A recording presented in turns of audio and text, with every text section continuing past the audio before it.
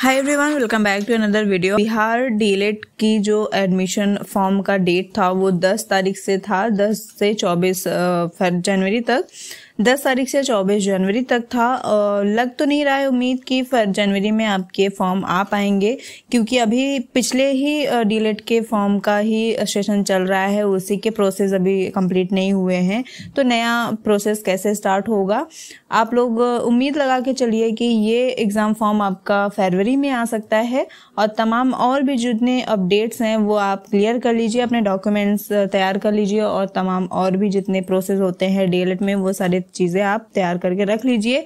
उम्मीद यही है कि फरवरी में आ जाएगा। आप अपनी तैयारी भी स्टार्ट रखिए, क्योंकि कभी भी आ सकता है आपका फॉर्म और आप अपनी तैयारी नहीं करते रहेंगे, आप बैठ जाएँगे तो दिक्कत हो जाएगी। स्क्रीन पर आपको दिख रहे बिहार विद्यालय परीक्षा समिति का एक साइट दिख रहा होगा। यहाँ पर आपको डीएलएड के जितने भी नोटिफिकेशन हैं, यहीं पर आपको मिलेंगे। आप लोग यहाँ पर ध्यान से देखेंगे तो आपको सब स्लाइड करेंगे। नीचे आपको डीएलएड के नोटिस जारी की जाती है। वहाँ पर आपको दिख जाएगा। जो भी अपडेट होती है, वो तुरंत आपको वहाँ पर मिल जाएगा।